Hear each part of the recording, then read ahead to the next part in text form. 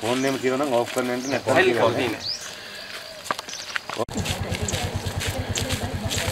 monitor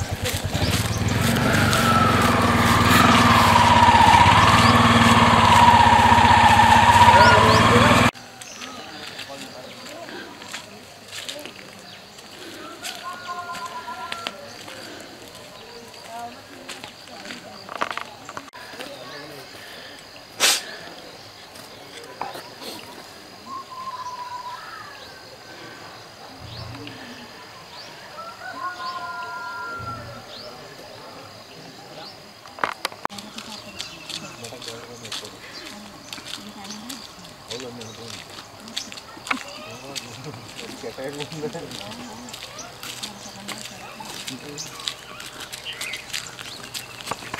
Boleh.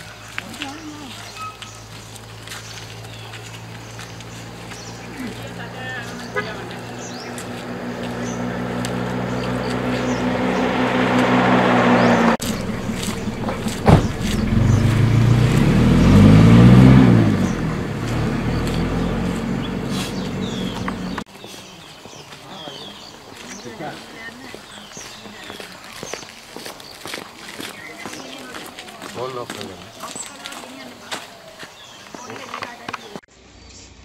Ay, tut. Tut.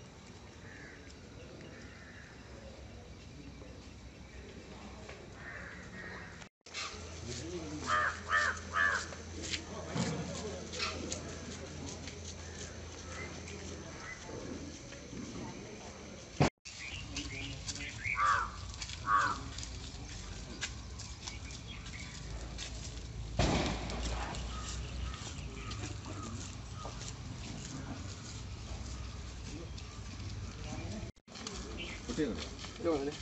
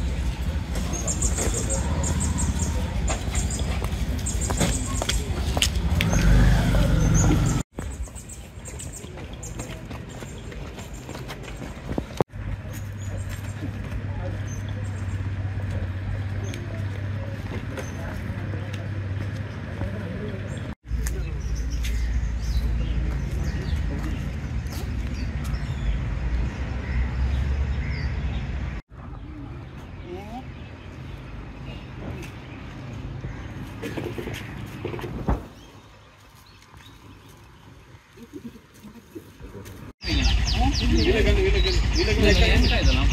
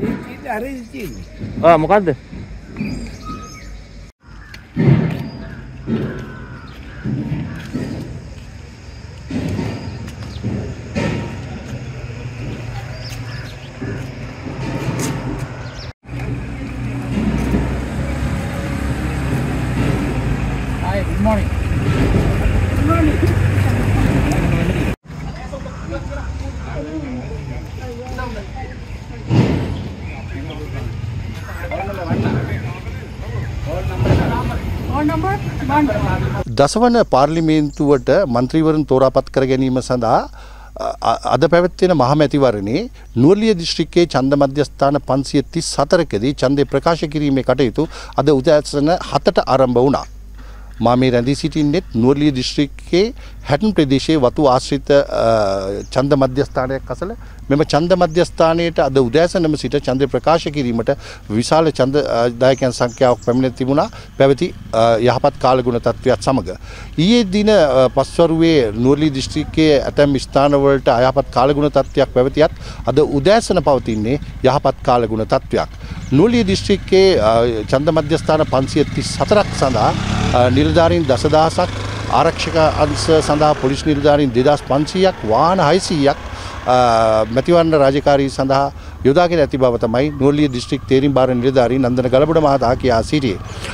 නුවලිය දිස්ත්‍රික්කයේ අ, පිළිගත් දේශපාලන පක්ෂ 17ක සහ ස්වාධීන කණ්ඩායම් 11ක අ, අපේක්ෂකයන් එකසිය අට දෙනෙකු තරං කරනු ලබනවා මින් තෝරා ගඩු ලබන්නේ අ, මන්ත්‍රීවරුන් අට දෙනෙකු පමණයි.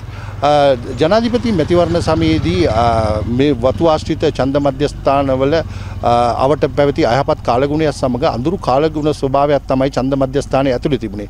ඡන්දය ප්‍රකාශ කිරීමට ඇතැම් ඡන්දදායකයන්ට ගැටලු රැසක් මතුවීම නිසා අ, මැතිවරණ කොමසාරිස්වරයා සහ නුවරඑළිය සහකාර මැතිවරණ අ, කොමසාරිස්වරයාට ලද පැමිණිලි කීපයක් මත අ, මේ වෙන විට අ, සියලුම ඡන්ද මධ්‍යස්ථානවලට විදුලි ආලෝකය ලබා දී තිබෙනවා.